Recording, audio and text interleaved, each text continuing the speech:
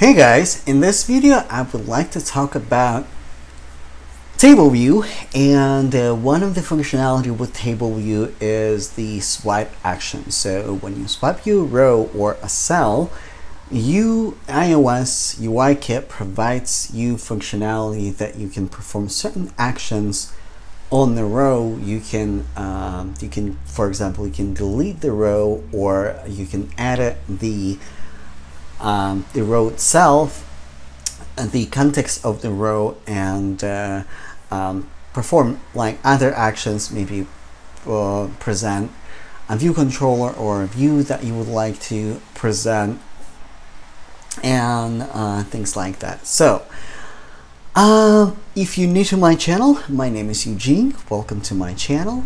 And if you haven't already, please subscribe to my channel so you get notifications every time I post a new video. So let's jump into coding and let's jump into table view controller and uh, a new way to do swipe action for iOS. So if you've been around uh, UI kit and iOS for a while? And uh, like let's say it is our table view and by the way if you want to follow along I will provide a link to this um, video and uh, you can uh, download the initial state of the project if you want to follow follow along with me and code along with me and I'm also gonna provide the final result the final code if you just want to look at the code and uh, like copy or take that code and modify it as you like. So whatever is more convenient for you feel free. I will provide the links in the description for this video. So, uh, like I said, if you've been around uh, uh, UI um, kit and um, uh, iOS development for a while, well, if you want to provide like certain actions uh, for your um, table view, uh, one of the one of the things that you can uh, that you can provide is uh, edit actions any actions uh, yeah like this method any actions uh, for row add however you will receive this message that you are uh, UI table view row action was deprecated in iOS 13 so now if you want to uh, build your application and utilize a table view controller or table view, you will need to use, uh, as it says, UI contextual action API. So technically, technically you still can use this API, but it was deprecated and I strongly encourage you to um, go with, with a new way that Apple's um, suggest you to go and I'm going to show you how. So for that, uh, type uh, trailing tra uh, trailing swipe action configuration for row app. So this is the thing. Uh, you can provide um, configuration for trailing action and for leading action as well. So if you uh, say here uh, lead, leading swipe action, you can also uh, you can also provide that those actions for leading um, um, side of, of, of your uh, view control or of your view. So user can swipe left and swipe right and perform different action. So uh, for this video, um, uh, I will focus just on the trailing swipe action configuration because the uh, approach is the same and the uh, code is almost like pretty much almost the same. Um, what you need to do like before you can implement this action uh, I, I would strongly recommend you to provide um, methods that would provide actions for for the swipe actions for the swipe configuration. So let's do that like uh, private func and delete. Delete. And uh, uh, we need our index path so we know which row we have to delete all right uh, so um, um, let's say um, uh, row index path add index path and the type of index path and we're going to return UI contact con, uh, con contextual action so for this one, we're gonna say let create a variable inside of our method and say action. And action is going to be UI contextual action. So, and the rest is pretty much similar to a UI table view row action. So you can select style, so uh, you can select destructive or normal. So if you want to uh, provide the red button or red background for your action, I would say destructive and string will be delete and um, and handler uh, for handler you can um, uh, you can utilize action uh, you can specify view and you can specify like closure that is uh, that uh, that takes boolean. So um, we're not really going to you don't have to use those parameters in this um, in this closure. You can just provide your code. For this I will just leave them blank. And I'm going to say that uh, table view delete rows at and I need to provide an array of index path and luckily we have index path here and I I'm gonna say index path and with a style uh, let's do automatic and our action um, our action needs to uh, return um, UI contextual action and we're just gonna say return action and we need we need self here. So um, because it is a closure um, I strongly suggest weak self uh, guard let self equals self else return.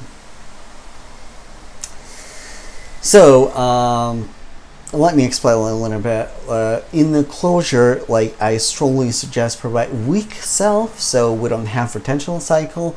And if you don't want to put your like question marks um, after yourself and just utilize self that and then like your uh, method uh, you can do guard let self equals self else return and that you uh, and uh, you, you you can utilize just um, self that with that question mark just just a little just a little trick that you can use for um, for uh, your closures and weak self so this is our delete action. And after we delete rows, I want to say self uh, table view uh, reload data. So let's say we delete with API. We're not dealing with API, but like we delete we delete table, we delete rows. Like I want to I, I want to re reload data for uh, this table view, but not exactly necessary. So, and as our delete action, and then let's do a private func edit action. Um, the same.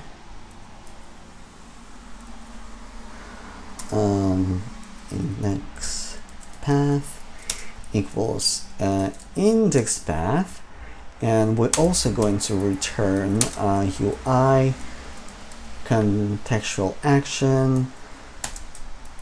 Boom and uh, let action equals UI um, con okay. contextual act where did you go contextual action and uh, style for this style will be normal and title will be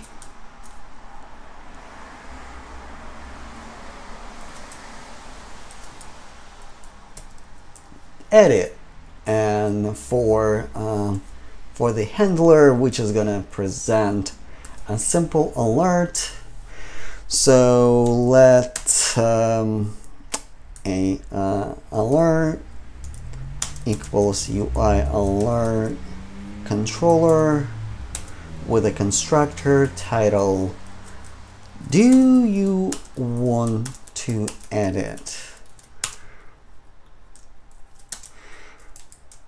You could could do so when we Im implement this from we can you can do this when you uh, when we implement this functionality and uh, presentation style is going to be an alert. And then we're going to say alert uh, action UI UI alert action. And string will be uh, title will be okay. Style will be default. And we don't really care about the handler. And then we're gonna say present alert animated true. And return action. Uh, and yes self. And, and for uh, for this closure we're gonna do uh, self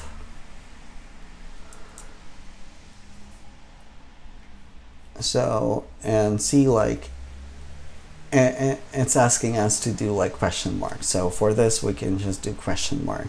So your choice really? And uh, let's do let um, edit edit equals self edit index path uh, and uh, let delete equals self delete. Index path um, and return um, okay uh, so uh, um, let swipe equals uh, swipe